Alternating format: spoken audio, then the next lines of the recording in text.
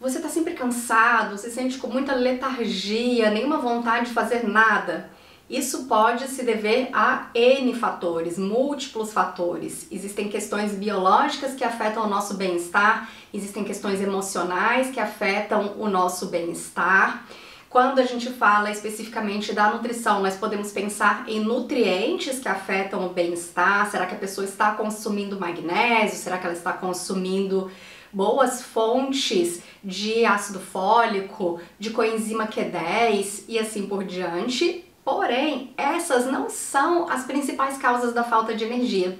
As principais causas da falta de energia não, está, não tem a ver com carências, e sim com excessos.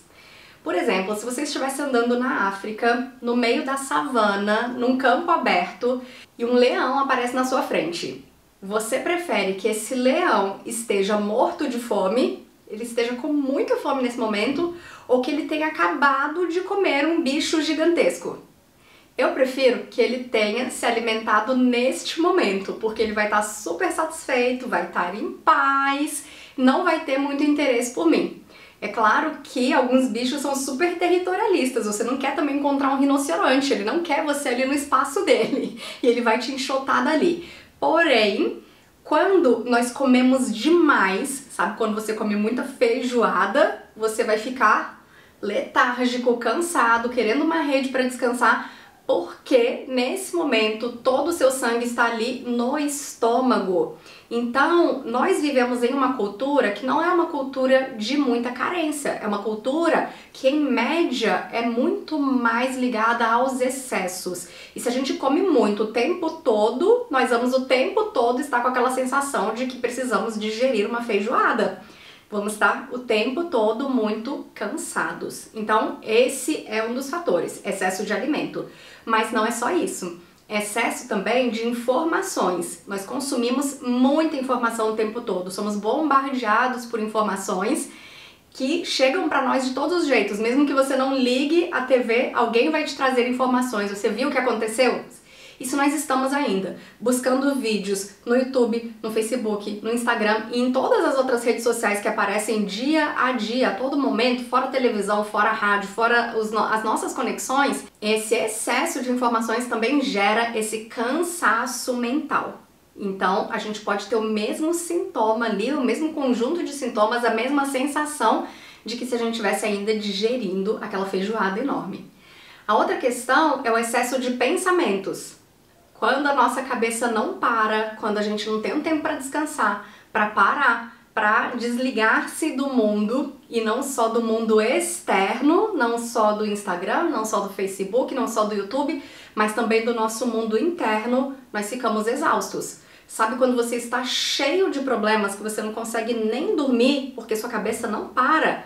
É claro que você vai estar no dia seguinte exausto. E a nossa cabeça, ela é assim. Se a gente não ensina ela a parar, ela também vai ficar exausta. A outra questão é o excesso de tempo que a gente passa sentado. Verdade, hoje um adulto médio passa tanto tempo sentado como quanto um idoso de 80, 90 anos. O ideal para o nosso corpo não é um estilo de vida de uma pessoa que já está se aproximando aí do final da vida, que vai ter outro ritmo biológico. Nós deveríamos nos movimentar muito mais. E hoje um adulto passa entre 8 e 16 horas sentados por dia trabalhando. Né? A maioria dos adultos trabalha sentado. A maioria dos adolescentes permanece o dia todo sentado também, estudando, às vezes 8, 10, 12 horas ao dia, ou em frente à TV, ou em frente ao computador, ou na sala de aula, ou jogando videogames, mas é muito tempo sentado. E vários estudos têm mostrado que quanto mais tempo a gente fica sentado, pior para nossa saúde. Então não adianta eu passar 20 horas sentado e achar que 40 minutos de atividade física vai resolver. É claro que a atividade física é importante, continue fazendo atividade física, porém, de vez em quando você tem que levantar no seu dia. Coloca ali de duas em duas horas pelo menos no seu celular para você levantar dá uma passeada, volta, porque esse tempo enorme sentado faz muito mal. E é por isso que várias pessoas agora trabalham inclusive em pé. Eu tô gravando esse vídeo aqui em pé, mas tem muitas pessoas que ficam no computador o dia todo e acabam suspendendo o computador para passar um pouco do dia em pé, porque realmente isso tem um impacto grande no sistema cardiovascular e em todos os outros sistemas. Então, a maioria das pessoas, elas não tem problemas de saúde por conta do excesso de atividade física, mas pela falta de atividade física, pelo tempo enorme que passamos sentados ou na cadeira do trabalho, ou na cadeira da escola, ou no sofá, ou em qualquer outro ambiente. Mas então temos que levantar, temos que mudar a posição do nosso corpo. E aí você veja então que para termos saúde, nós precisamos de um conjunto ali de fatores. Não é só a alimentação, não é só a atividade física. Nós temos que cuidar de corpo, mente, alma, espírito, tudo isso junto. E é aí que entram as práticas integrativas de saúde, um conjunto de estratégias que servem justamente para que você aprenda a ouvir o seu corpo, aprenda a cuidar dele muito bem. Eu tenho colegas que fazem yoga, que são professores de yoga e que têm uma prática diária. Todos os dias eles acordam e eles fazem uma hora e meia de Ashtanga Yoga de manhã. Maravilhoso. Não funciona para mim. Por quê? Eu passo o dia todo atendendo também pacientes, muito tempo sentada e aí eu fico com dor nas costas e eu fico com dor nas pernas.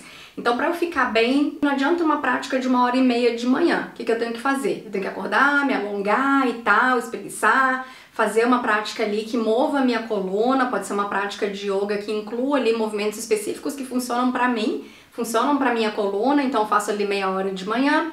Depois, durante o dia, eu tenho algumas outras atividades, eu ando um pouco com o cachorro, eu levanto, eu ando pela casa, ando pelo escritório, mas no final do dia, quando eu acabo de trabalhar, de novo eu faço mais uma série de alongamento e de yoga ali de uma meia hora. É claro, talvez isso não sirva para você, eu estou nessa fase da vida. Eu atendo o dia todo sentada. Eu tenho 46 anos. Eu tenho essas características físicas. Minha coluna precisa disso. E você tem que descobrir o que, que você precisa em termos de sono, em termos de parar, em termos de alimentação, em termos de atividade física, porque é esse conjunto de estratégias que vão fazer com que você fique bem e não é um conjunto de estratégia homogêneo. O que funciona para mim pode não funcionar em nada para você e você tem que descobrir isso aí. Para os profissionais de saúde, é muito importante que eles conheçam essas estratégias também. Não adianta cuidarmos só de uma área da vida. Então, que aprendam a aplicar essas estratégias com o próprio corpo e aprendam a ajudar ao seu paciente para que ele tenha também esse aprendizado e para que ele consiga ficar muito independente, porque a gente não cuida da saúde só no dia que a gente vai ao médico. Nós temos que cuidar da nossa saúde sempre, porque essa saúde que vai me dar não só vitalidade para não ter letargia, que foi o tema inicial desse vídeo, mas que vai fazer com que eu tenha essa liberdade para realizar todas as atividades que eu preciso realizar durante o dia e que eu gosto de fazer também. Então a saúde nos dá liberdade de escolha, nos dá liberdade de movimento, nos dá liberdade de atuação no mundo.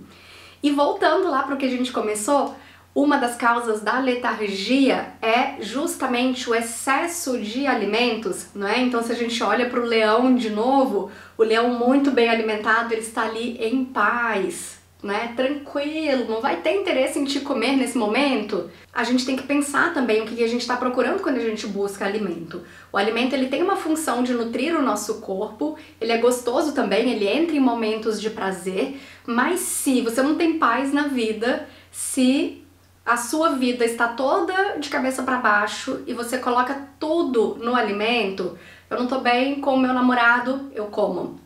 Eu não tô bem com meu chefe, eu como. Eu não tô indo bem na escola, eu como. Minha vida financeira não tá bem, eu como. Então, se tudo que me tira paz eu coloco na comida, não vai dar muito certo, porque a comida não é fonte de paz não é? Então, de novo, a importância de um olhar integrativo, de olhar cada questão da nossa vida e buscar realmente o que funciona, buscar realmente o que vai trazer para mim essa satisfação nessas áreas todas, essa paz que eu estou buscando, essa saúde para que eu tenha liberdade.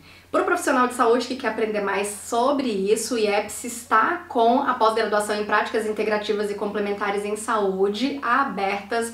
As vagas são limitadas. As aulas começam agora, no dia 27 de março, então entre no link para não perder essa oportunidade.